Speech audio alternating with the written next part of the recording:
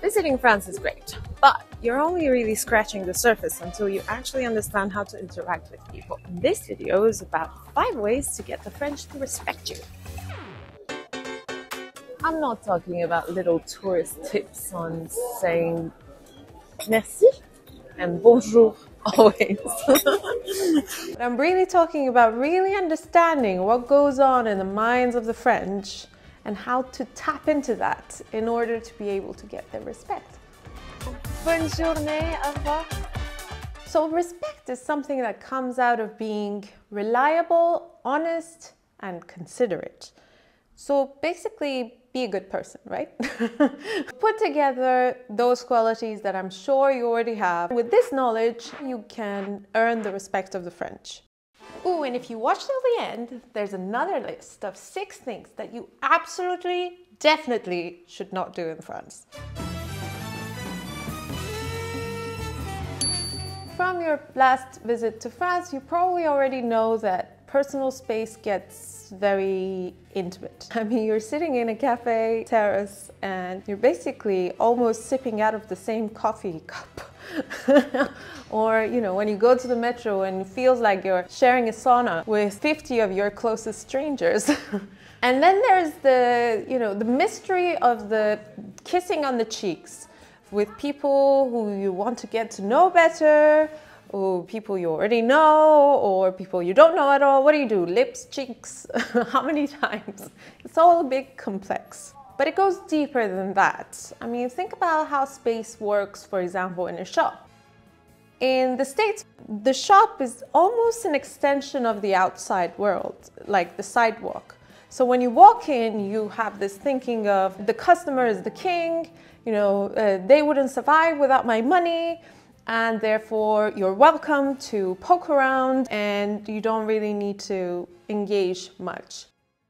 In France, no, that's not the mentality at all. In France, you're basically walking into their personal space. Their shop, which is almost always a very small shop and uh, probably a family owned place, is an extension of their home. So when you enter, you're kind of entering into their home. So you have to be more considerate of that and to take permission to enter into their space. You'll obviously have to say hello, yeah. But apart from that, you can't just touch things or sit at places. If you do sit at a space and they're not paying you any attention, don't be surprised if they ask you to move. That's their space. They get to decide how it's run. What I'm saying is that the power arrangement is different. It doesn't mean that they're being rude. You might think that, but they don't think that way. It's probably where the old American cliche of, you know, servers being rude in France comes from. It's just because space is different. Space in a shop or a cafe is a private space that you're entering into. And once you understand that, things will go a lot smoother from there on. Trust me, it will. Okay, number two is about the service that you get. It's about politeness. Now, the French are more formal than most nationalities, like the Americans, the Australians, Brits, etc. Hi guys, my name is Aida. What can I get you? Good day, mate. Coffee and a kangaroo. Bonjour, madame. Que puis-je pour vous, tout en tenant compte de la fragilité de l'existence Un café peut-être? It's not them being snobs or putting on airs. You're getting the Madame Monsieur treatment because they're being respectful to you. You're basically equals, but very, very polite equals. It is really irrelevant who's giving the money and who's taking it. Money is not the king in France at all.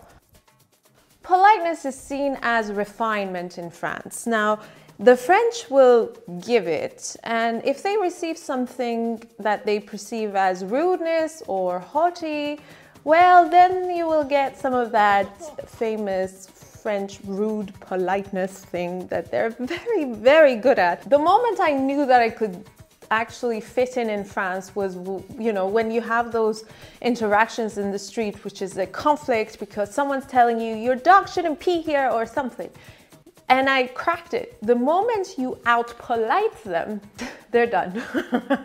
that's, that's the thing here. You need to be polite all the time. And if they're rude to you, you go even more polite.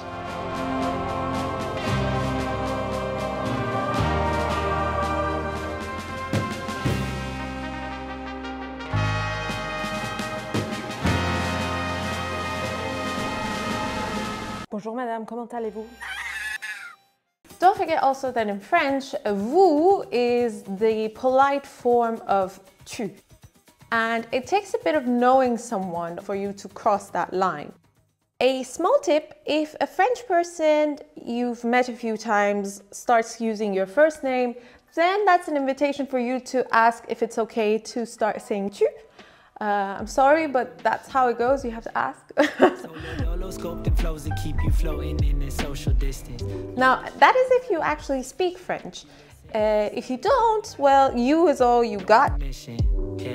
I'm always looking for the innermost. You knit your brow, you cynical of any inner ghost, inner child. Beyond vous and tu, there is communication, just in general. And it doesn't matter whether you speak French or English or any other language. You know those old tips about, you know, saying bonjour and merci uh, all the time? Now, those are good, but they don't work as much as they used to because, well, English is really spoken a lot in Paris. What it's really about is about acknowledging the other person.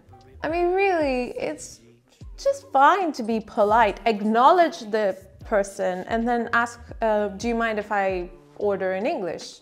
However, this tip might not work so much in the remote areas of France because, well, where there are tourists, people do speak English, and that really means Paris, but in other parts, that may not be exactly the case. Look, bottom line, anywhere in France, as long as you're polite, you're most likely to get a respectful treatment in return. It's the politeness that matters and not the actual language. The flip side of this is that many people think that as long as they speak a little French, then they've unlocked some sort of great level of uh, French service. No, that's not true. It's not the language that gets you the service, is the your attitude. The French conception of time can be both familiar and might get a little getting used to. With the French, for an appointment or a reservation, you have to be punctual. In other contexts, however, it might be a little bit tricky. Um, it depends on the situation and sometimes even personal preference. For me, turning up 15 minutes late for a dinner or meeting up someone at a bar is okay. I will arrive on time, but if they're late, I don't mind so much. And then there's the whole thing about the, you know, time off work for French people, the vacation. now, the French have a lot of vacation, that's true. And also they have a lot of just normal holidays that is really about the work-life balance. Don't fret too much if someone that you actually have a business to do with isn't around and is on vacation. That's just normal. It's their life. Their entire life is in their job. You may say that, well, why don't they just get someone else to do it? Well, in France, it can actually be very expensive to to have replacements on hand. This may mean that some favorite restaurant isn't open during the holidays or you know uh, some banker or um, medical person isn't around to handle your case on the time that you've agreed. Unfortunately, that's the way that it is. Don't take it personally and don't think it's about some kind of national laziness. It's really about companies and customers understanding that workers have lives too. Sure, it's frustrating, but you really do get used to it. And the thing is that if you live in France, you get the same treatment. Now, if you understand this and show that you're okay with it, you will get a whole lot of respect points from the French. Now, the way I see it in France, there are two levels of conversation. Of course, with people you don't know that well, with whom there's that social distance, you keep a polite facade. You can have your own opinions, let's say, uh, I think uh, wine from northern Italy is just as good as wine from the south of France. Just don't be too controversial. But then with people you know, the conversation can change completely. There's quite often this thing that the French do where I, uh, I think of as they like to surprise you with something really outrageous and then uh, you know, take their time to explain it and make it reasonable. It's fun.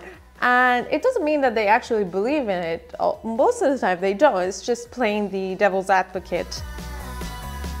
If you do get to that level with people, none of this, uh, let's just agree to disagree. No, no, no. They're almost a verbal duel. To recap, these are the five things that get the French to respect you. Be aware that personal space is different. Be polite. Communicate more with the idea of acknowledging the other person. Be aware of how time works in France. And in conversations, work at two levels. Level one, polite. Level two, devil's advocate. Here are the promised six points of the things that you absolutely, definitely should not do in France. Do not talk too loudly. Do not wear a beret unless you want to look beret, beret ridiculous. Don't wear shorts. You don't want to look needy. Don't call this a French kiss. This is a French kiss. Do not eat and walk. The cases of accidental baguette penetration of the nose are on the rise. There are three things you're pronouncing wrong. It's not lingerie, it's lingerie. It's not horse duvers, it's hors d'oeuvre. And it's not merci beaucoup. Well, unless in some cases it is.